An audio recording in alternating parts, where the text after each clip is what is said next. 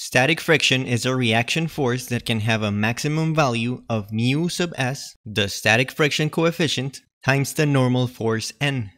What this means is that the static friction is not necessarily mu times n. That's only the maximum value it can take when the external forces cause the reaction force to exist. This is in contrast to the kinetic friction, which is always the dynamic or kinetic friction coefficient mu sub k times the normal n.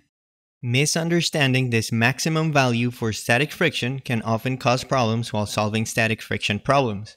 For a box on a horizontal surface, the friction force is zero if no external horizontal force is being applied. As soon as an external force appears, if the box is still static, it means that a reaction friction force with opposite direction to the external force has the same magnitude of that external force. The external force can keep increasing until the friction force reaches a value of mu s times n, where n is of course the normal force equal to mg. When the external force is higher than this, the friction force cannot increase anymore, and therefore the box will be subjected to a horizontal acceleration. This is similar to what happens to a box on a slope. If the inclination angle is not too steep, the friction force will only be equal to the external force parallel to the surface. For any case of a box on a slope, this external force parallel to the surface is the component of the weight in the direction of the surface. If this force is lower than mu times n, then the friction force is only equal to the magnitude of the weight's component. Mu n is only the maximum friction force, if the actual friction force was mu times n, then the box would be accelerating upwards, which is obviously not the case. Of course, if we keep increasing the angle of the slope, we will reach a point where the friction force will reach its maximum value at mu times n, and we can actually write the sum of forces in the y prime direction and the sum of forces in the x prime direction to find a relationship between the angle and the static friction coefficient mu sub s.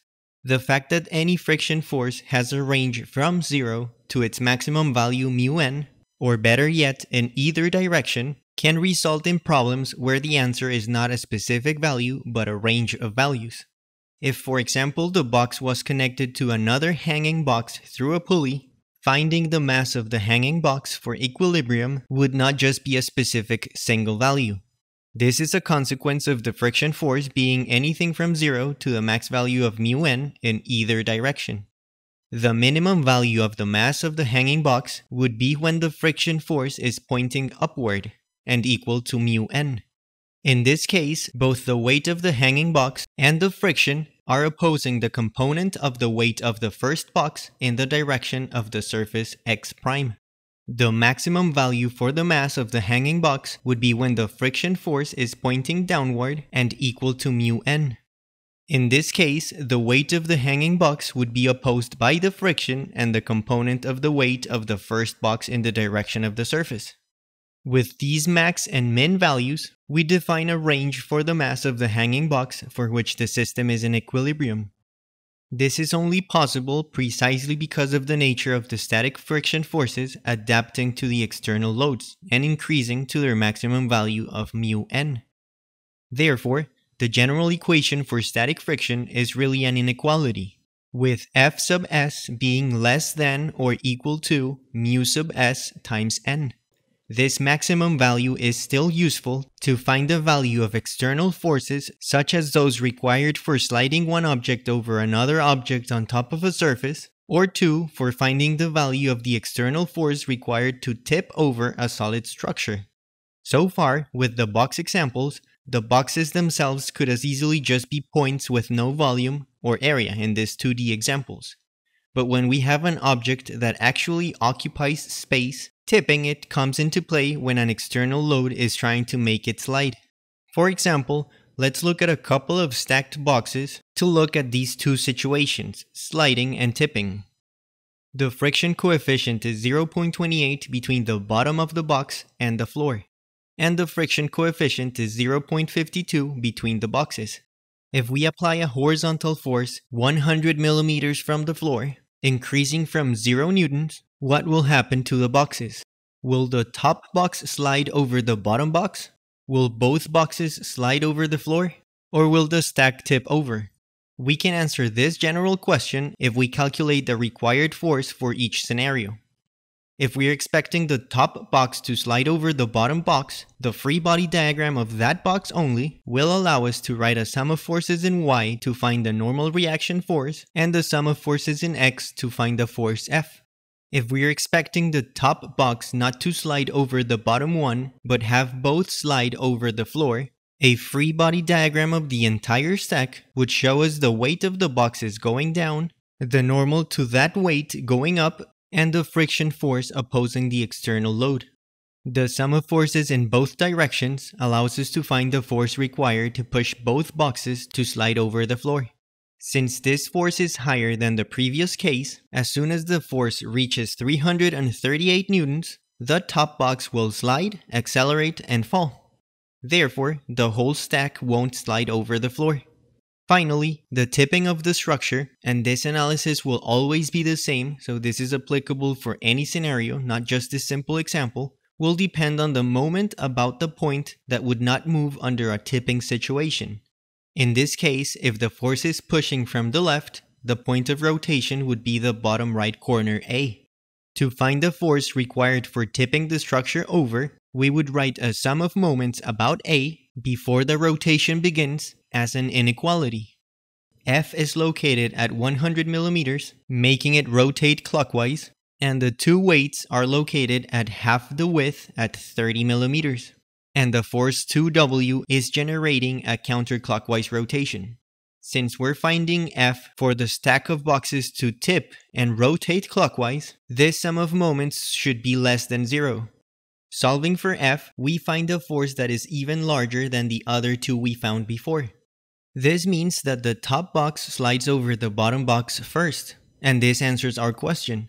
When a horizontal force of 338 newtons is applied 100 millimeters from the floor, the first thing that will happen is that the box on top slides over the box at the bottom. By the time the force reaches 364 for the whole stack to slide, or 390 newtons for the stack to tip over, the top box will have already slid. Let's take a look at a simple friction example, and if you want to check out more complex examples, make sure to check out the 2 minute example videos linked in the description below. A man that has a weight of 200 pounds pushes horizontally on the crate. If the coefficient of static friction between the 450 pound crate and the floor is 0.3, and between his shoes and the floor is 0.6, would the man be able to move the crate? Will the crate slide or tip over? Remember to try to solve this problem on your own before you watch the solution up next. If we draw free body diagrams for both the crate and the man, we see that the maximum force that the man can exert on the box will be equal to that maximum value of friction we discussed at the beginning of this video. With the normal being 200 pounds, the friction force would be 0.6 times 200 and therefore the maximum force P would be 120 pounds. On the other hand, the crate's free body diagram shows us that the normal is 450 pounds and that the maximum friction force is 0.3 times 450 or 135 pounds. Since P can only reach 120 pounds, the friction force could be higher than that and therefore the man would start sliding before the crate slides the actual friction force on the crate would still be 120, and the crate would be under equilibrium. For tipping the crate, a sum of moments about the bottom left corner A would show us that the box would rotate clockwise, not counterclockwise, which is tipping over. Of course, this doesn't mean that the crate will in fact rotate clockwise. It only means that the normal force from the floor to the crate is not located at A, but around the center of the crate, which would create an additional moment to result in a sum of moments of zero. This moment caused by the normal force means that the crate will not tip over, as there's still an interaction between the floor and the crate. Therefore, the overall answer to this question is that the man cannot push hard enough to either slide or tip over the crate.